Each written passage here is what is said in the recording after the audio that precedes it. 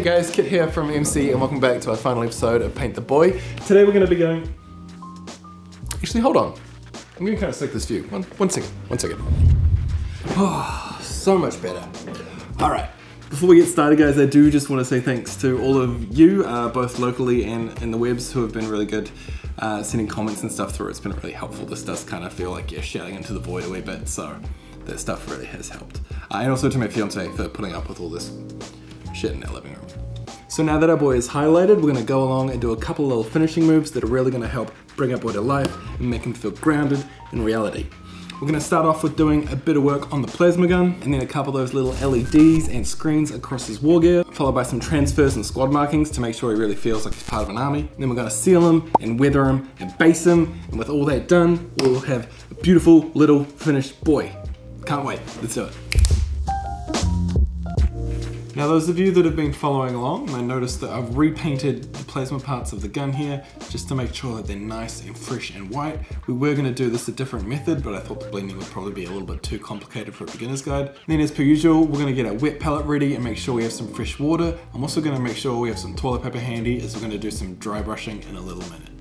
First thing we're going to do for these plasma rifles is just a nice thick coat of Guilliman blue. The Citadel glazes are basically just really watered down paint so you can actually make any glaze of whichever color you want. I'm just going for blue uh, and it's handy because they've already made it for us. And we're gonna be pretty liberal with this, almost treating it like a wash, just letting it soak into all those little recesses, making sure we get nice and tight into the corners as well. We're gonna make sure we don't forget these little vents at the front, and then I'm also gonna make sure to get right into that barrel because we want it to be nice and blue, especially around the tip. It might be worth noting that I've gone for the blue plasma here because it kind of matches with the eye lenses and stuff that I'm using, but you can really do this with any color you want. Just make a glaze out of that base, water it down heaps, you should be all good. And then next up, we're gonna grab some Drakenhof Nightshade. If you're doing a different color, just grab whatever dark wash is the same color as the color you're doing. And we're just gonna be really careful to just let it soak into the very edge of where the plasma coils meet the gun. And then at the very tips of these vents at the end. And then again on the bottom edge of these little, whatever they are at the bottom here.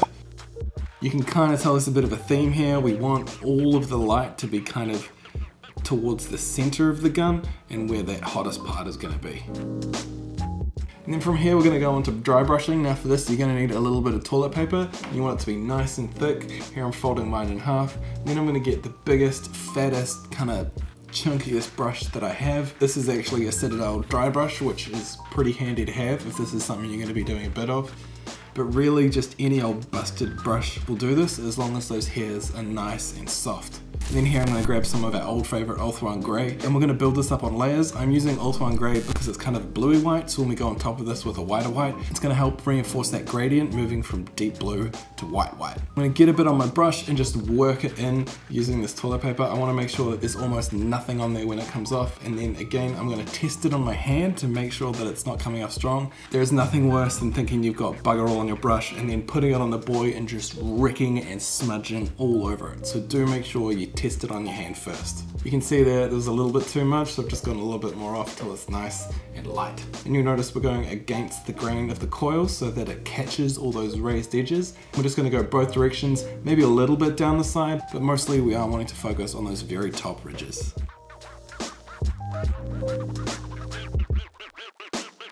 And then once we're done with the Ulthuan Grey, I'm gonna grab a bit of white scar and do the same thing. Again, making sure there's hardly anything on my brush and testing it to make sure you, you, you don't want you don't want to dunk this up. It, it'll be bad. So just just do just do test it. And then for the white scar, we're being even more selective, just doing a little bit less than we were before, really just brushing across the very tops of these coils. And with that dry brushing done, I'm just gonna get a bit more of that white scar on my palette test my brush to make sure that it's a nice and sharp point.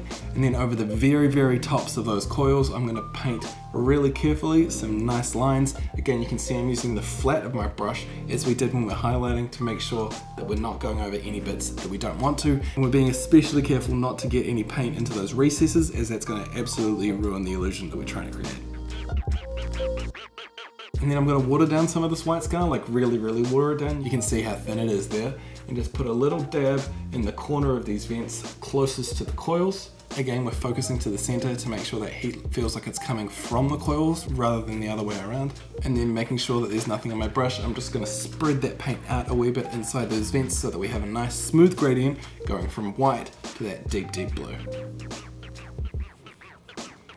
And then for the additional little heat sinks down the bottom here, again, I'm gonna make sure my paint's really, really, really thin and I'm gonna do a little bit of gradient just on the very top so that again, we're emphasizing that feeling of the heat coming from the center. And then using that same kind of cleanup method we did with the vents, I'm gonna use my dry brush to just pull some of that white away so that it's fading nicely from that white to that blue. And then I'm gonna put a little dab of white on the top of each one of these three little heat sinks as well. This time not on the recesses, but on the actual panels themselves. Now don't expect to get this right straight away, especially that thing with pulling the paint around with a dry brush. It can take a little bit of practice, but as usual, practice makes perfect, so the more you do it, the better you're gonna get.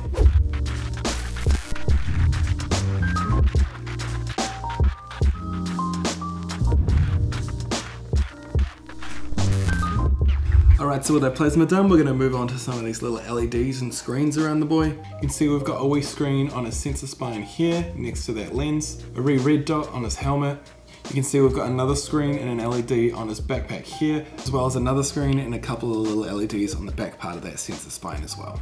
So I think starting off with the red, I'm just going to grab some of my Evil Sun Scarlet and just fill in the entirety of that little red dot on his helmet being really careful not to scratch that eye lens that we spent so much time doing last episode. And I'm coming at it from a couple of different angles just to make sure we can get a really good coverage. And then this time with paint that's a little bit more thinned down, I'm gonna go for the little LED on the top of the sensor spine, just letting that really thin down paint kind of suck its way into that little recess and mix some of that Evil Sun Scarlet into some white. Again, we want it to be closer to white than we do to pink. And I'm just gonna put a little dab onto that laser sight. We basically want it so that we can barely see any red, so it's mostly white. And then watering it down a bit more, I'm gonna do the same thing on the back part of that sensor spine. And because this paint's kind of thinned down, we just wanna aim for the very center of that recess. That way it'll sort of flood out and fill the rest of those spaces for us. Now I'm just gonna get some pure white scar and go over those pieces one more time. Just taking my time, making sure my elbows are on the table so I've got a nice solid grip and I'm not being shaky and putting a little pop in the center of that light. Now we're going to move on to the blues and we're going to do the exact same process but this time we're going to switch our Evil Sun Scarlet out for a bit of Lothern Blue which is a nice light blue with a lot of saturation and a lot of pigment and then I'm going to paint the whole of this little light on top of the screen and then the same thing that we did before next to the red one, just filling that whole recess with nice blue. And if any gets on the edge, we're just gonna wipe it away. From there we're going to go straight on for some white scar and on that back little light just work our way from the edges towards the center. We want that middle part to be the most brilliant white and then the same thing again to the center of the LED on the back of the spine. And then I think on the back here it can be a little bit stronger, so I'm gonna go over one more time just with some thin down white to really make it pop. And because we're doing pure white here, I might even do a little bit more on that red as well. From there we're going to move on to these screens and using our Old Mate Caliban green, I'm just going to coat the entire piece. Both the pieces on the sensor spine and then this wee screen on the back of this plasma charger. Then we're just going to rock on to a bit of Loren Forest. And again, it's kind of like the same thing we did with the lenses in the last episode. We're going to make the top right of that screen the darkest, and then we're going to make our way to the bottom here, being the lightest green. And we're going to do that in a couple of different layers.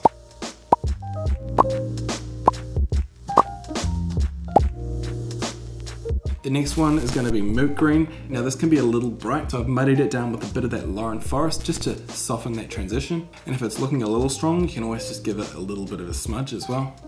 And one more layer. This time I've added a bit of white to the Moot Green to make it really, really soft. And I'm just gonna do in the very bottom left corner. Now this tiny little screen on the back doesn't really have corners, so I'm just aiming for the center. And then using that same color, I'm just gonna stab at the screen a little bit so that it looks like there's some text or symbols or whatever crossing over the screen, just giving a bit of a, a feed out of information. You can see here on the back, it's kind of the gaps between the stabs that kind of link them together to make it seem like they're individual letters. So don't try and make one big long line. You want a line that's kind of made up of these little dots. And then when you look at it all together, it's gonna look a lot more like text than if you just done straight lines across the screen. And then I'm gonna go over those little text lines we made with some pure white scar. Again, with that same little stabbing flicking motion. And I'm also gonna put a little bit of white scar in the top right corner of these pieces as well. Top white corner where the darkest green is, right where the sun would be hitting that corner. Now it's probably worth noting on these boys, I'm imagining the sun coming from this kind of direction, so though it may be the top right on the front of the boy, it's gonna be the top left on the back. And there he is, all his little screens and lights and stuff are done. It kind of does help to give a bit of narrative to these boys. You can imagine their, their squad brothers or whatever can like look and see what they're seeing and give little info readouts or yell out at him if his plasma is about to overheat and blow his friggin' hands off.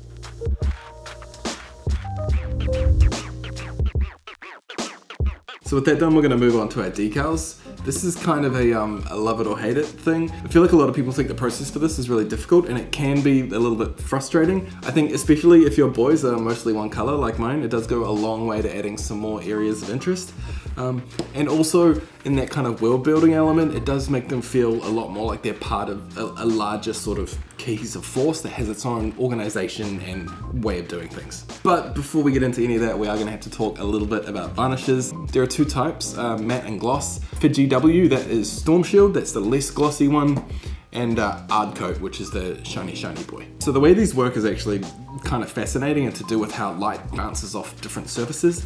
Ardcoat basically just makes a really smooth finish so that when the light hits it, it bounces straight back off. Whereas Storm Shield is a little bit more of a bumpy, rough texture, not that you'd ever feel it with your hands, but it does mean that when the light hits it, it kind of bounces off at random angles, uh, making it a lot less shiny. This is especially good information to know when we're talking about decals or wet transfers, as what they really, really like to get a really solid stick is a super flat surface. So the first thing we're gonna do before we even think about applying those transfers is figure out what's gonna go where and then give them a thin coat of some of this glossy varnish.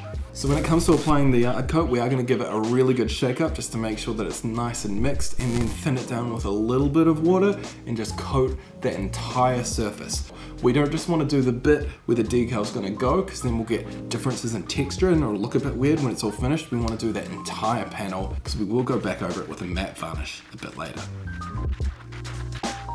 Now when it comes to cutting these guys out, if it's straight and flat, you can just cut it out, no worries. But because we're putting this one on a shoulder pad, which is a curved surface, I'm gonna make a little incision on the top there so that when it presses down, it can fold over itself a wee bit. That way it's gonna be nice and smooth. And that way we're not gonna have any bumps or folds or bits that have raised off or air pockets stuck underneath it. So once we've cut out a transfer, we're gonna lay it down on that bit of bog roll and just soak it with a bunch of water. Just absolutely drench it. And then I'm also gonna paint the panel that it's gonna get attached to just with a heap of water as well. The great thing about these transfers is as long as that they and the area that they're going on are wet, you can basically maneuver it around as much as you want. Now this part can be a little bit finicky, so what I'm gonna do is just put the paper up against the panel and use that wet brush to just really gently kind of poke it and prod it and shift it off until it gets onto that shoulder pad. This can be a little bit frustrating, but again, as long as it's wet, you have all the time in the world, so just be patient. Just finagle and maneuver and get it in there any way you can. And then just trying to get it as central on that shoulder pad as we possibly can. And then once we've got it in the right space, I'm just gonna use a bit of toilet paper and then rolling it over the top of the decal to make sure there's no little air pockets underneath it. But while I'm doing this, I'm gonna be super, super careful to make sure I'm holding it by the paint handle. There is nothing worse than putting another decal on and then turning the boy around to notice that you had your thumb on the other one and you've just ripped the whole thing to shreds. It's, it's, it's the fucking, it's the worst, man. It's the worst so be careful. Now that they're all gone, I'm gonna go ahead and cover them all with a bit of my technical storm shield, just to make sure that they're all nicely sealed in place and they're not gonna get scratched or bumped off or chipped away later on. However, it is worth noting that you can always put a decal on top of another decal. For example, my boys are of the third company of the Sons of Demeter, so I'm gonna go over that chevron with a gloss varnish rather than a matte varnish, because that way I can put another little number three on top of it, and then we'll go over that with another matte one to remove the shine.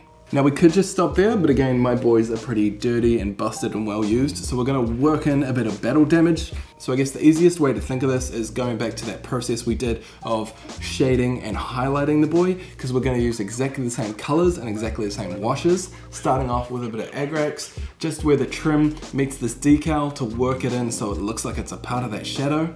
And then I'm gonna go back to our base color and just put some little knocks and dents and bits of damage into the white so it's not quite so strong. And from there we're going on to our first highlight color, which for us was Flayed One Flesh.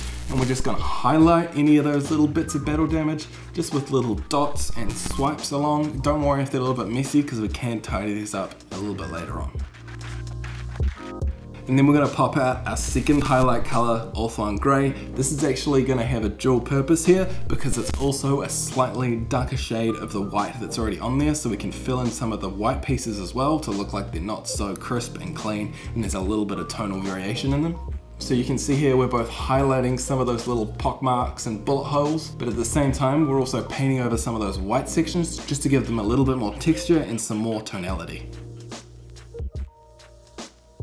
And then from there, we're going on to our third and final little pinpoint highlight color, which is White Scar. Again, a bit of a dual purpose here, as well as putting some little pinpoint highlights on those bullet holes and scratches and stuff. We can also use this to sharpen up some of the edges on the decal as well.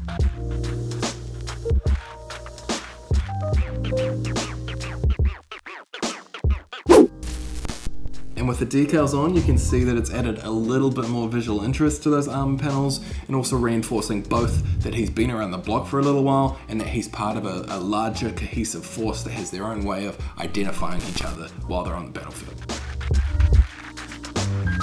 That done, we're gonna get those varnishes out again and we're gonna seal the boy. And we're doing this for a couple of different reasons. Firstly, it's going to protect all those armor panels that were spent so long painting so that as the boy gets thrown around and busted up and taken from case to case, it's not chipping off and revealing that grey plastic underneath. But more importantly, it's going to give different parts of the model different textures and finishes and change the way that it reacts with the light. First up, I'm going to get that real glossy, shiny varnish, the GW Ard Coat, and thin it down and just put a little coat on those lenses and screens and eyepieces just to make them super reflective and reinforce those ideas that we painted on earlier. Now you do want to treat these just like paints and thin them down with a little bit of water. For Storm Shield, you want it to look semi-opaque on the palette, and for Ard Coat, you just want it to be running off the brush nice and smooth. Then I'm also gonna go over these hoses as well. I want them to feel sort of like industrial coated rubber. Um, this is obviously a pretty important part of the gun and it's not gonna function without these hoses and cables working. So they are gonna be protected from punctures or other damage. So although Storm Shield is a matte varnish, it's actually got a little bit of shine to it and it is just gonna separate those armor panels out from any leather or metallic pieces. It's just gonna give them a little bit of a different property in how they react with light and make it feel distinct and harder and just kind of tougher.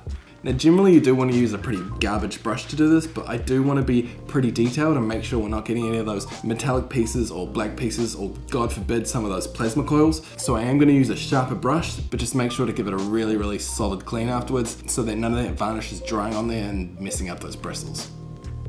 And you can see here when it's all done, it does really help give those different panels and parts of the model different material properties with how they react with the light and defines everything really nicely. And with that done, no pretty pictures this time because they look pretty much the same.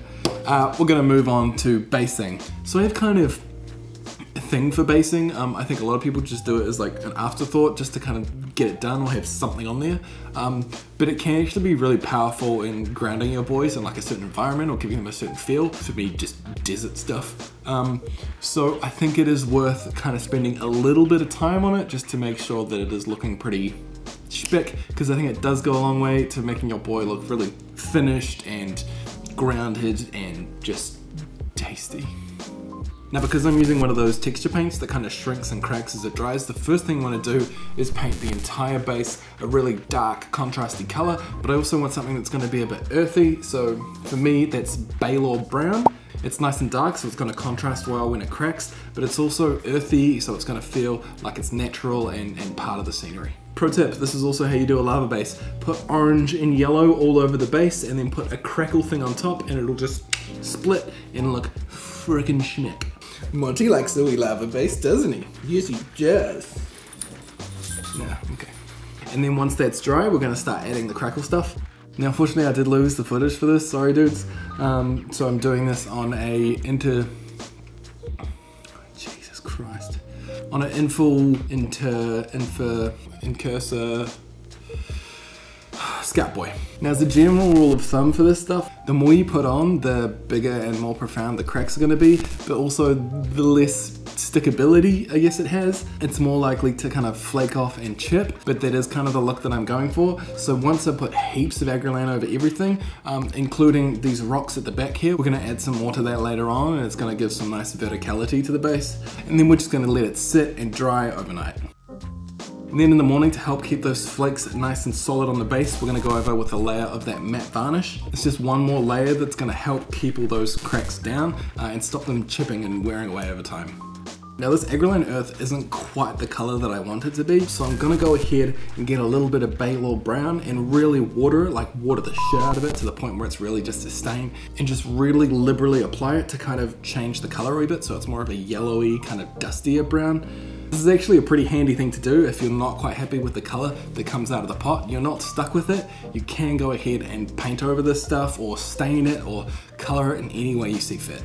And you can see I'm also painting a little bit up the bottom of his boots here as well, just again to kind of stain it and get some of that color from the base running up the model, which is gonna go a long way to helping ground him in the reality of that desert. And then once that's all dried off, which could take a while because it's pretty watery, I'm gonna go over one more time with a bit of Agrax Earthshade. This is why I love doing bases. You can be rough as guts with it. Just slap the shit everywhere and it'll end up looking really, really good. And then once it's all dried up and done, I'm gonna go ahead and give everything a bit of a dry brush.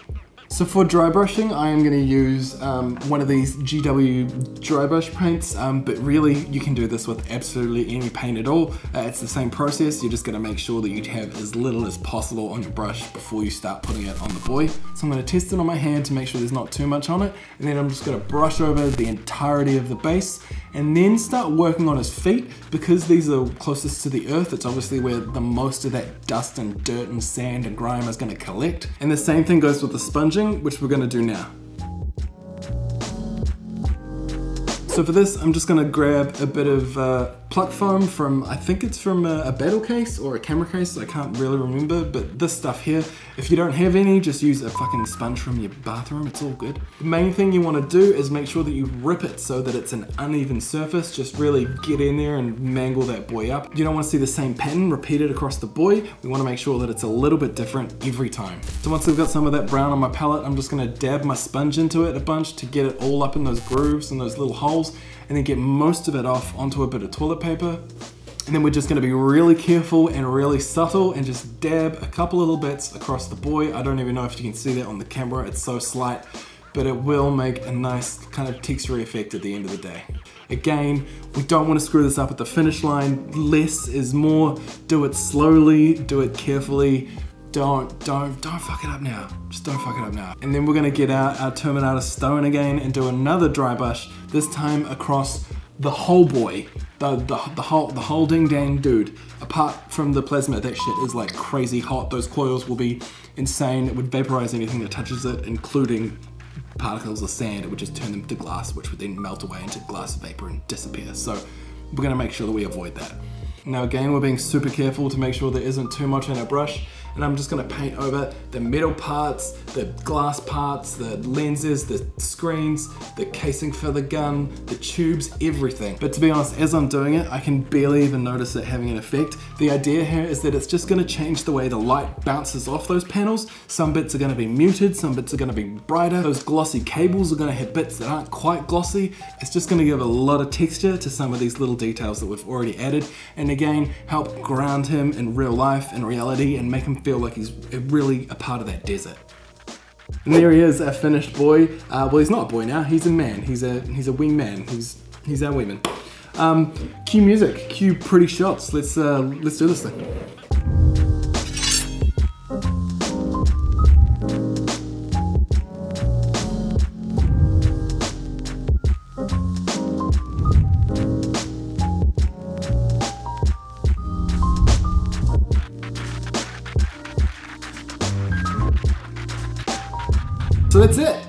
We're, we're finished. Thanks for for joining me. It's been a total pleasure um, and it's kept me real sane during this pretty crazy time. I'm going to be doing some quick tips and stuff uh, later on down the road as work gets busier. I'm really excited about the battle reports that we're going to be doing coming up. Um, I'm, I'm a cinematographer and a DP by trade, so I'm quite excited about doing this kind of thing and making them look really pretty and cinematic, which um, so far I think is lacking a little bit around town. Uh, so yeah, it's all good stuff. And it's all real cool and it's all coming soon. And I hope everyone's okay and thanks for joining us. And that's it. I've run out of ands. I'm, I'm, I'm out. I'm good. We're done. Bye. Bye.